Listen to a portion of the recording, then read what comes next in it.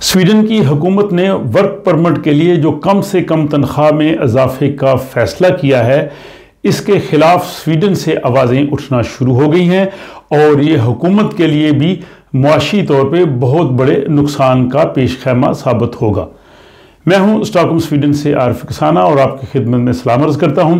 आपका बहुत शुक्रिया कि आप मेरे व्लॉग्स पसंद करते हैं, कमेंट्स करते हैं, लाइक करते हैं और जिन लोगों ने इसे सब्सक्राइब किया है, मैं उनका शुक्रिया अदा करता हूँ और नए सब्सक्राइबर को खुश आमदेद कहता हूँ। तो चलते हैं आज के इस व्लॉग की जानब। ये स्वीडन की हुकूमत ने हाल ही में जो फैसला किया था कि वर्क परमिट के लिए जो कम से कम तनख्वाह है, वो साढ़े तेरह हज़ार से साढ़े छब्बीस हज़ार स्वीडिश क्राउन कर दी जाएगी और इसका इतलाक जो है, वो यकम अक्टूबर 2023 यानी इस साल यकम अक्टूबर से किया जाएगा। इसके खिलाफ जिन लोगों ने वर्क परमिट हासिल करना था, वो तो बात कर ही रहे थे।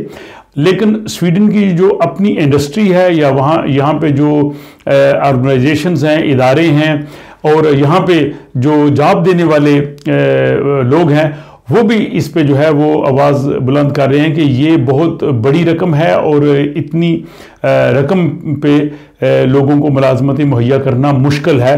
और इवन स्वीडन की जो इंडस्ट्री है, इसमें भी काफ़ी ज़्यादा आवाज़ें जो हैं वो इस हवाले से उठी हैं। और हाल ही में ये एक रिपोर्ट आई है और इस रिपोर्ट में कहा गया है कि अगर वर्क परमिट वालों के लिए जो तनख्वाह है वो साढ़े छब्बीस हज़ार की गई, इसके स्वीडन की मीशत पे बहुत मनफी असरात मरतब होंगे। और उन्होंने कहा, जी, अभी तो हुकूमत ने ये 80 परसेंट के करीब बढ़ाया है। और हुकूमत तो कह रही है कि ये इसको बत्तीस तैंतीस हज़ार स्वीडिश क्राउन तक लेके जाना है। वो बहुत ज़्यादा स्वीडन के लिए नुकसानदेह होगा। इस रिपोर्ट में ये कहा गया है कि ये जो अभी साढ़े छब्बीस हज़ार तनख्वाह है, अगर ये भी कर दी गई तो स्वीडन को जो है, वो तकरीबन पाँच बिलियन स्वीडिश क्राउन यानी पाँच अरब स्वीडिश क्राउन का जो टैक्स है, वो कम मिलेगा। यानी टैक्स की सूरत में हुकूमत की जो आमदनी है, उसमें कमी वाक़ होगी और स्वीडन की मीशत के लिए जो बहुत ज़्यादा नुकसान होगा, स्वीडिश इंडस्ट्री के लिए बहुत ज़्यादा नुकसान होगा। इस हवाले से जो ये रिपोर्ट जिसका मैं ज़िक्र कर रहा हूँ, ये स्ट्रेटजी रोदत यहाँ पे एक इदारा है, जो एक मशावरती इदारा है, जो रिपोर्ट्स बनाता है। उसके यूनिस ओलिन, उन्होंने ये रिपोर्ट जो है वो पब्लिश की है और उन्होंने ये कहा है कि इसमें जो लेबर मार्केट है और यहाँ पर जो लोग काम कर रहे हैं और उनके लिए ये बड़ा नुकसानदेह फैसला है। तो हम भी ये समझते हैं कि हुकूमत ने जो वर्क परमिट के लिए साढ़े छब्बीस हज़ार तनख्वाह की है, ये बहुत ज़्यादा है। अगर इन्होंने बढ़ानी भी थी तो साढ़े तेरह हज़ार की बजाय तकरीबन अठारह, उन्नीस हज़ार या बीस हज़ार के करीब करीब कर देते तो वो एक मुनासिब तनख्वाह है। उस पर जो है वो लोगों का यहाँ पर आना भी मुमकिन होता और हुकूमत को टैक्सेस भी मिलते।